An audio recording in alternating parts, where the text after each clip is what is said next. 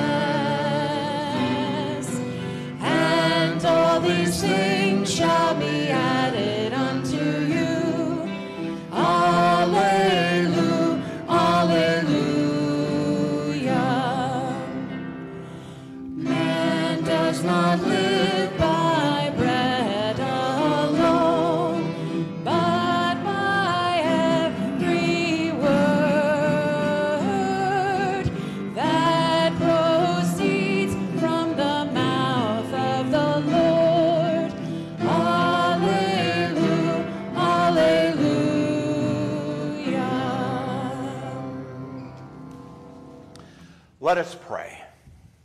Gracious Heavenly Father, as we gather for worship this morning, we praise you for sending Jesus to be our Savior. We thank you that you have loved us with an everlasting love and have chosen us to be your people. Lord, you promised you would come. You came and you promised you are coming back in all your glory. Bless our worship as we prepare to celebrate your birth once again. In your precious name, Amen. Please be seated.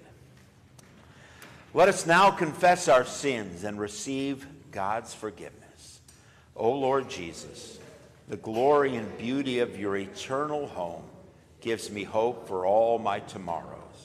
Yet unless you are Lord of my life, reigning as King, I will get in the way of you being Lord of the church. My own selfish ideas and personal theologies tear down what you build up. Forgive me, Lord, and give me a new vision for your kingdom.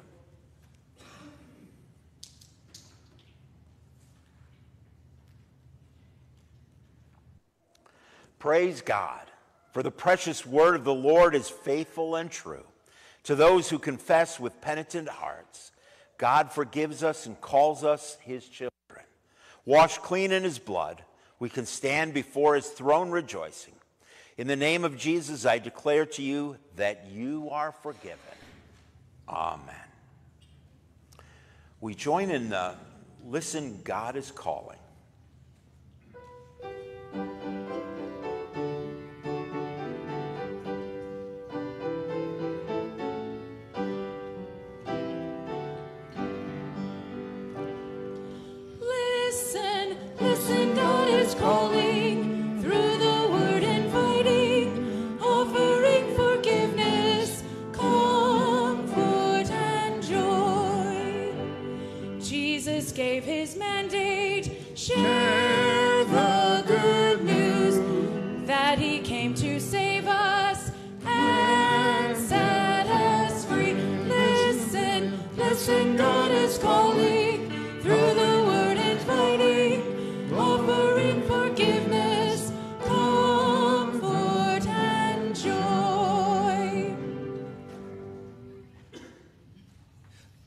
Morning. Let's have all the boys and girls come up for our.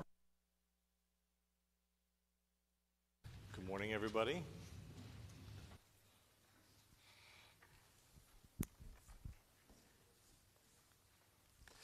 Good to see you all. Good morning. All right, are we one thumbs up or two today? What we got? We got one, we got two, lots of thumbs ups. Good, good, good. So today's children's message, good morning, come on in is about a special word. It's kind of a funny word, and it's called grumble. What do you think the word grumble means? Yeah.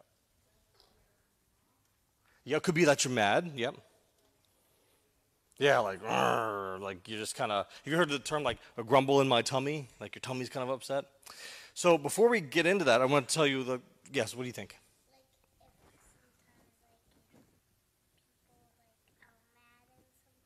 Yeah, people get mad. I, I, agree with that. So we have the word grumble. We're going to put that aside just for a second, and I'm going to ask you about a farmer. So, what do farmers do? Yeah. They grow crops. Some farmers take care of animals too.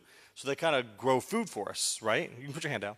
They grow food for us. So today's Bible lesson that the pastor is going to uh, read to us today, it's about uh, a little bit about farmers a little bit about patience, and a little bit about grumbling.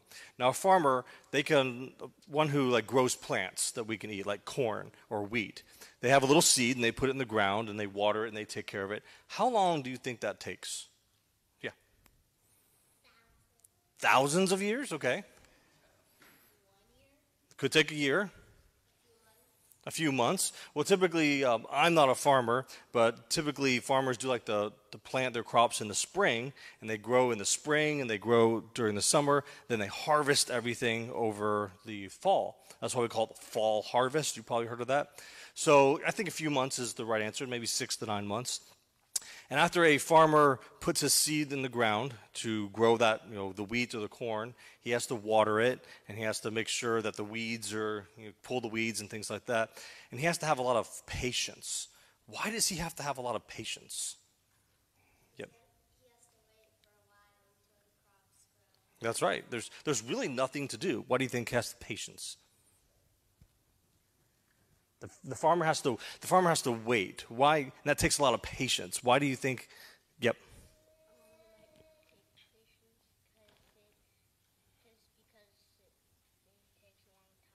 It does. And sometimes we want things to happen like really fast right away. And patience takes discipline. And what happens if we're not patient?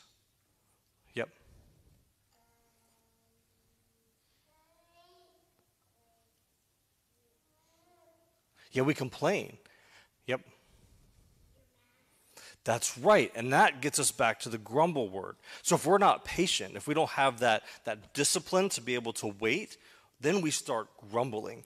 And then we start getting angry, and then we start getting in fights with each other. And maybe sometimes the farmer, um, it's just not, he doesn't get enough rain, or just things are happening. But we have to be patient. We have to wait for the seed to grow, and we have to wait for the harvest. So, in the Bible study today, Paul is writing to some people who are getting really impatient and they're like, we want to see more results. We want to see more people in church. We want to see we want to see all the fruits of everything that we're doing. We want to see it now. And Paul's saying, stop your grumbling and just be patient. Just wait for God because God has a plan. And I understand sometimes like I get grumbly and I, I get impatient also, but we just have to be able to take a deep breath and know that God has a plan. Sometimes when we pray, God says yes. Sometimes God says no. And sometimes God says, you're going to have to wait. So we need to remember that. So when we want something now, we want something big in our lives, sometimes we just have to be patient, not grumble like the Bible says, and just wait on God's plan. It's hard to do, but waiting on God's plan is always worth it. Would you agree with that? I think so. All right, let's close in prayer. So, everyone, fold your hands, and we're going to do the repetitive prayer. You just repeat after me. Dear Heavenly Father, thank you for today. Help us to be patient, and wait for your blessings. Amen. Amen. Well, thank you very much for listening this morning. You may go back to your seats.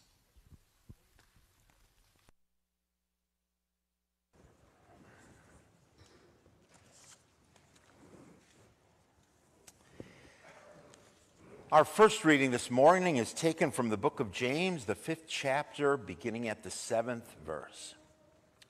Be patient, therefore, brothers, until the coming of the Lord. See how the farmer waits for the precious fruit of the earth, being patient about it, until it receives the early and late rains. You also be patient. Establish your hearts, for the coming of the Lord is near, is at hand. Do not grumble against one another, brothers so that you may not be judged. Behold, the judge is standing at the door. As an example of suffering and patience, brothers, take the prophets who spoke in the name of the Lord. Behold, we consider those blessed who remain steadfast.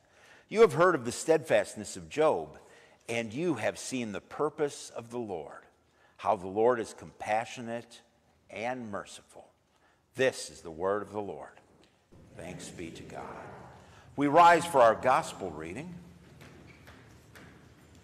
The Holy Gospel is written in the 11th chapter of St. Matthew, beginning at the second verse. Glory to thee, O Lord. Now, when John heard in prison about the deeds of the Christ, he sent word by his disciples and said to them, Are you the one who is to come, or shall we look for another? And Jesus answered, answered them, Go and tell John what you hear and see. The blind receive their sight, and the lame walk. Lepers are cleansed, and the deaf hear. And the dead are raised up, and the poor have good news preached to them. And blessed is the one who is not offended by me. As they went away, Jesus began to speak to the crowds concerning John. What did you go out into the wilderness to see? A reed shaken by the wind? What then did you go out to see? A man dressed in soft clothing? Behold, those who wear soft clothing are in kings' houses. What then did you go out to see? A prophet? Yes, I tell you, and more than a prophet. This is he of whom it is written Behold, I send my messenger before your face, who will prepare your way before you. Truly I say to you, among those born of women, there has arisen no one greater than John the Baptist. Yet the one who is least in the kingdom of heaven is greater than he. From the days of John the Baptist until now, the kingdom of heaven has suffered violence, and the violent take it by force. For all the prophets and the law prophesied until John, and if you're willing to accept it, he is Elijah who is to come. He who has ears to hear, let him hear. This is the gospel of the Lord. Thanks be to God. We confess our Christian faith in the words of the Apostles' Creed. I believe in God the Father Almighty, maker of heaven and earth, and in Jesus Christ, his only Son, our Lord, who was conceived by the Holy Spirit, born of the Virgin Mary, suffered under Pontius Pilate was crucified, died, and was buried. He descended to hell. The third day he rose again from the dead. He ascended to heaven and sits at the right hand of God the Father Almighty. From thence he will come to judge the living and the dead. I believe in the Holy Spirit, the holy Christian church, the communion of saints, the forgiveness of sins, the resurrection of the body, and the life everlasting. Amen. Please be seated. We sing hymn 344, verses 1 and 3.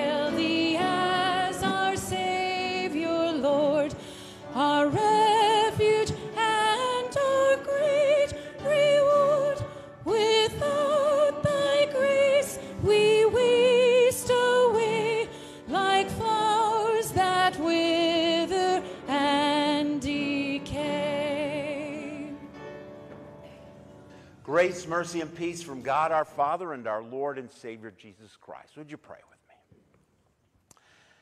Lord Jesus, we thank you for this day.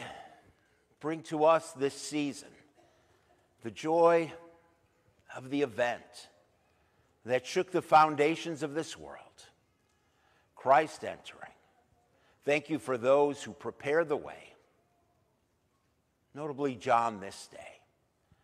And we look to you in faith and hope. In Jesus' name, amen.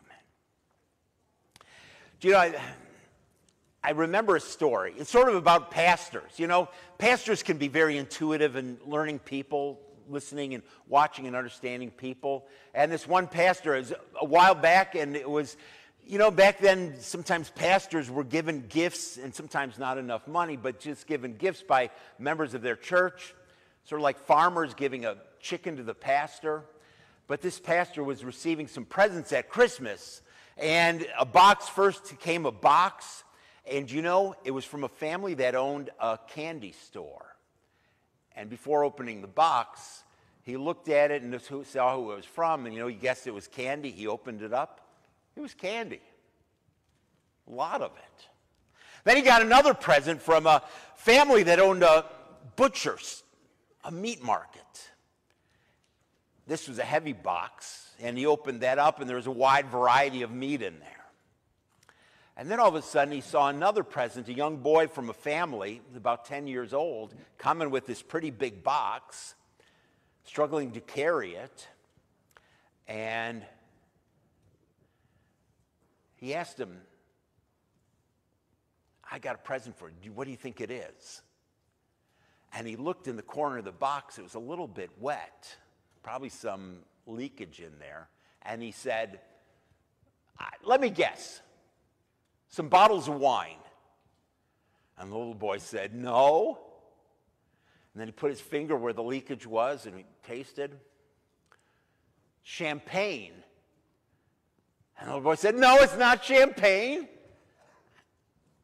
And he said, Well, what is it? A puppy.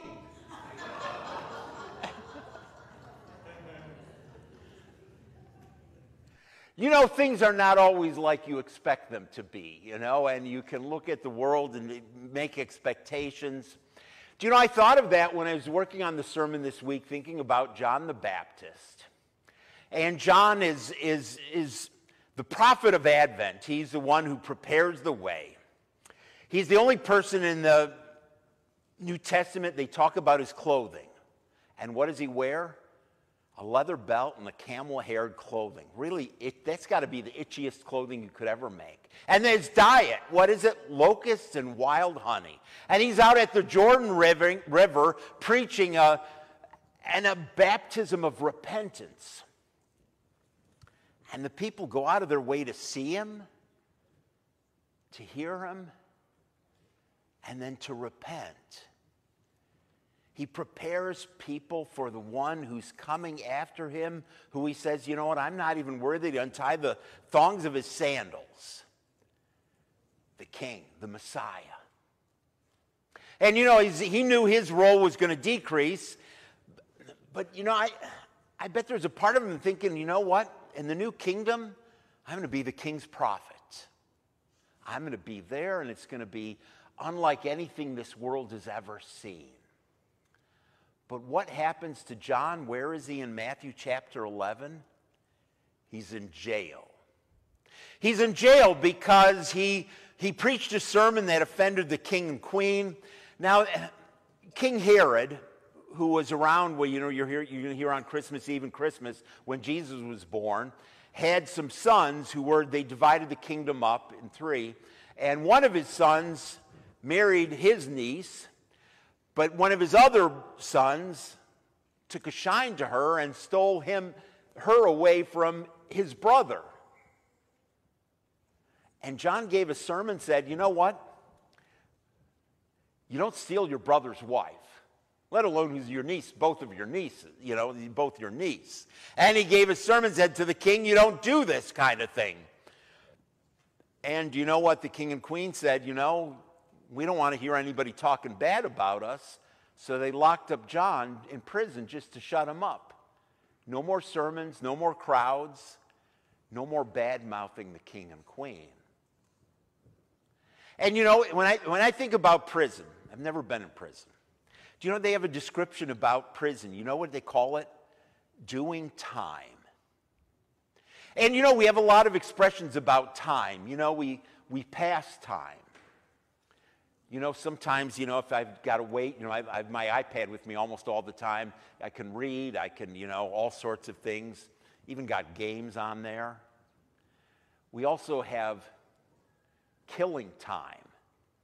And you know, killing time is something, you know, when it's, it's not a pleasant situation. Maybe if you're waiting. How many of you love waiting? I don't see a single hand out there. Nobody loves waiting. And when we got to wait, sometimes we kill time. And we do that. Here's one we all do, though wasting time. Have you ever wasted time? Hey, I, I, can I do that well every day. You know, there's certain things just, you know, just putter around and you think after an hour later, think, what have I done? I really haven't done anything. Wasting time. But John the Baptist is in a cell he's doing time. And that sounds miserable, you know, doing time. He's locked away in a cell and he's thinking about all that's going on. And he's thinking, I, was sure that Jesus was the one. When he baptized him, all these things happened, and, and life isn't going the way I expected it to. I'm in jail. So he sent a couple of his disciples to Jesus and asked him, Are you the one, or should we wait for somebody else? And you know, the Old Testament reading for this day, um, you know, it had the, the prophecy of the Messiah. And you know what it says? This is from Isaiah 35. Then the eyes of the blind shall be opened, the ears of the deaf shall be unstopped, the lame shall leap like a deer and the tongue of the dumb, dumb sing. That's the messianic age, and that's what the Messiah would do. it's interesting. Jesus sent the disciples back and said, Tell John what's happening. The blind regain their sight, the lame walk, lepers are cleansed, the deaf hear, the dead are raised, and the poor have the good news proclaimed to them. Do you know what the promise was? You know, these healings. But Jesus always gives more than anybody expects or even scripture promises. Jesus gives, you know, lepers being cleansed, good news being preached to the poor, and even the d- dead are raised from the grave. Do you know what? there's a description, you know, I talked about time, how you can pass time, waste time, kill time, do time. Do you know in the scriptures, the, the normal definition of time is called chronos in, in the Greek. It's called chronos. That's normal time. There's a, a, a term for a special time, and it's, it's this Greek word named kairos. And this time, it's, it's sort of like God's time, when God is active, when God is doing something incredible. And in the whole life of Jesus, you know what it is? It's kairos time. Because God is doing something incredible. Very, very incredible. Because all these things are happening. Do you know one of the things with John, and I think with all of us, how does Jesus describe John? The greatest individual among people who have been born of women. That's a pretty lofty stature, right? He describes John as the greatest person of those born among women. And you know, when you think of the greatest, you know, what is he doing? He's, he's doing time, he's in prison. Do you know there's an age old question that, that people ask, and you know, it's, you know, why do bad things happen to good people? Do you know what you think, John? He's the great, he's this great prophet, and what's happening to him now? He's in prison. And you know what, even more, you know, you know what happens to him in the future. The queen's daughter dances at a party. King drinks a little bit too much. And the king says to the girl dancing, I'll give you whatever you want, up to half of my kingdom. And what does her mom tell her to ask for? The head of John the Baptist on a platter. So ultimately, no, you know, we know what happens to John. He's doing time until they take off his head one day. Do you know, bad things happen to good people. And you know, all of us have experienced hard times in life. A life of faith doesn't mean you have a life without problems, without struggles. Do you know, I was just, just thinking about it. Well, what, what is some, some bad times? And you know, what the, one of the first things that came when I was working on the sermon, I was thinking about um, a famous pastor in the United States. His name is Rick Warren. He's a pastor of a church out in California. He's sort of retiring now, too. Um, and he and his he, he's famous for writing two books. The first book he wrote was for pastors, and it didn't sell that many copies. It was called The Purpose Driven Church. And it was a book designed for pastors. There's, there's a lot fewer of us pastors to read the book. It sold pretty well for a pastor oriented book, but it, you know, didn't that well. But it did all right, but not great. But then he did a follow up book to that purpose driven church, and the follow up book he wrote was called The the purpose driven life. And that was geared towards everybody. And you know what? That book, I think it sold like 40 to 50 million copies. And you know, it uh, sort of became sort of relatively famous. But it was about nine years ago, after all that happened in incredible notoriety. They have three kids and one of their kids always had some mental issues and problems. And you know what one of their sons did? He killed himself.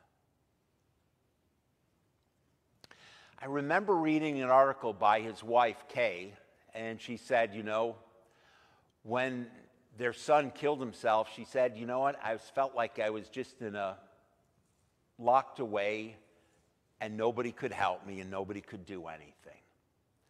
And I remember her, in the article she described, they would get Christmas cards from members of their church and other people they've known through the years. And you know, for Christmas, she couldn't open a single one. She just made a stack of them. And the stack grew pretty tall.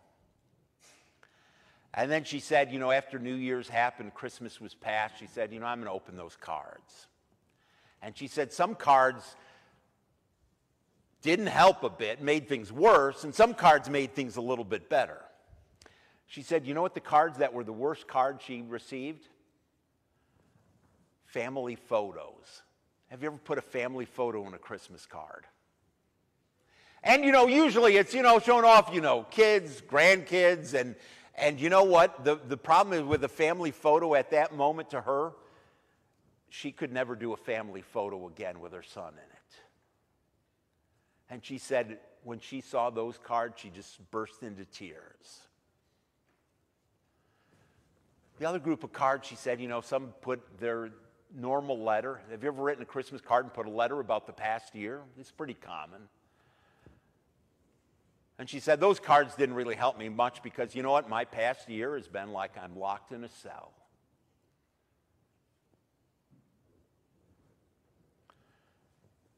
Some people just wrote, Kay, I'm praying for you.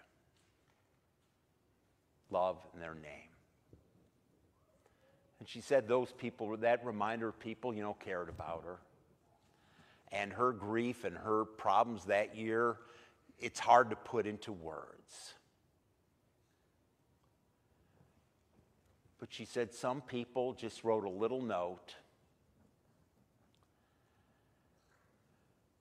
And she could see they could understand her grief. But they pointed her to Jesus. And she said, Those were the only cards that really spoke to my soul. Because you know what? Jesus opened eyes that can't see. Jesus allows people to hear who cannot hear a thing. Jesus makes people the lame walk. Jesus preaches good news to the poor, even heals the lepers. And Jesus is the only one who raises the dead. And that's the only thing she really cared about at that moment in time. Because that was the place she was suffering the most in life. And you know what? I think when those people experienced and did this and shared Jesus with her, that became a kairos time. A time where the message and the promise and the joy of Jesus is powerful. Do you know, a challenge in, in the church, um, we do this all the time. We kill time, we waste time, we pass time. But really, the church is to be a place that is kairos time. It's Jesus, Christocentric. It's the sacrament, it's the Word of God. It's hearing, do you know what? We've got problems, and, and and I, I would guarantee probably almost most people in this room haven't done time. But we all face struggles. We all face hardships. And Jesus is the one who speaks to every one of those issues.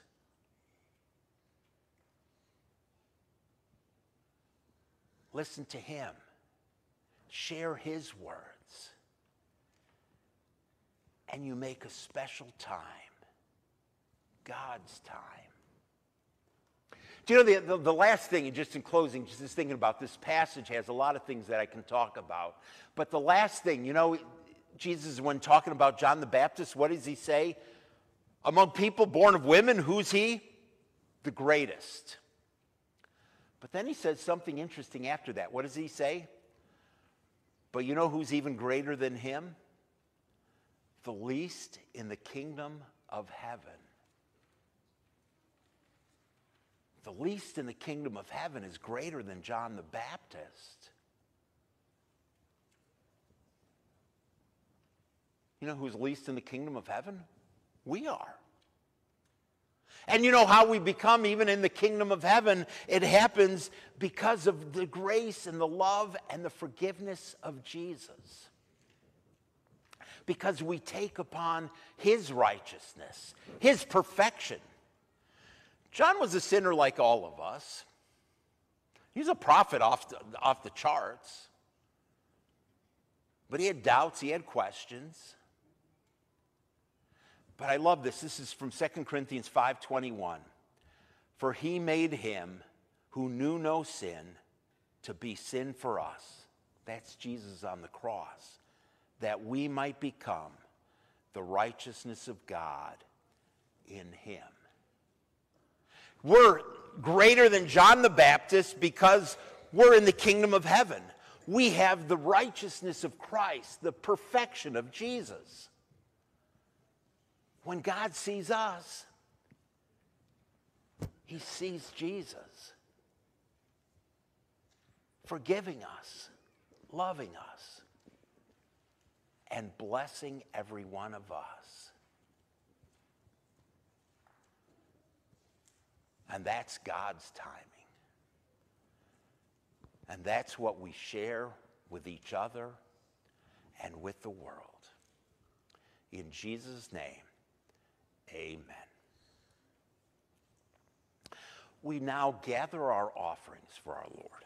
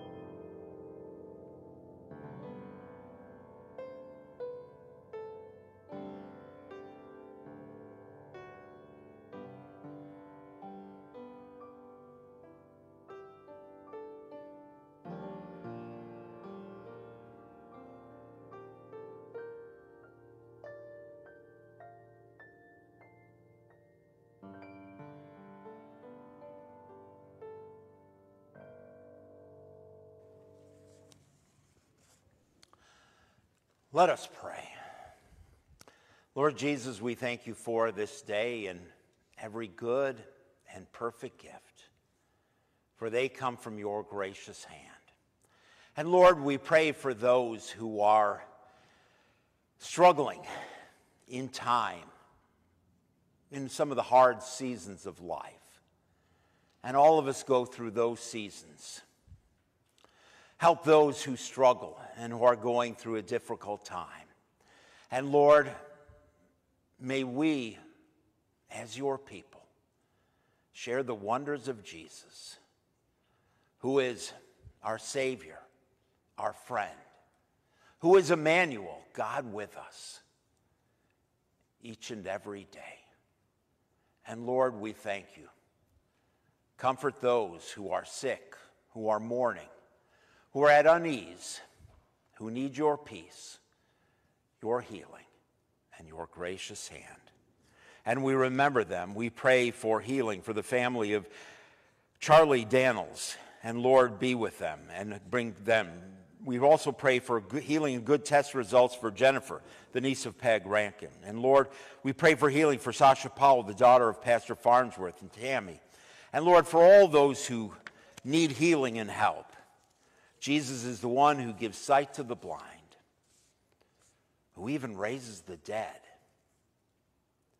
and who preaches good news to us and to this world in need of the good news of Jesus. We pray, you for, we pray for all people, for pastors, for congregations, for missionaries, for your people in harm's way, in any place and corner of this globe. We pray your will be done. And we pray together the prayer that you taught us to praise. Pray. We rise and pray together. Our Father, who art in heaven, hallowed be thy name. Thy kingdom come, thy will be done, on earth as it is in heaven. Give us this day our daily bread, and forgive us our trespasses, as we forgive those who trespass against us and lead us not into temptation, but deliver us from evil.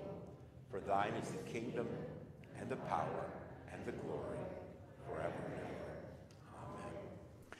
Our Lord Jesus Christ, in the night when he was betrayed, took bread, and when he had given thanks, he broke it and gave it to his disciples and said, Take and eat. This is my body, which is given for you. Do this in remembrance of me. In the same way, also, after supper, he took the cup, and when he had given thanks, he gave it to them, saying, Drink of it, all of you.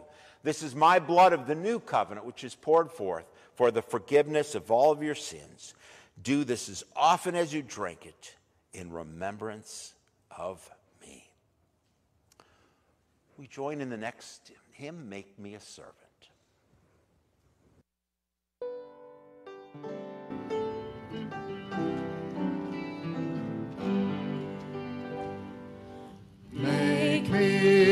Servant,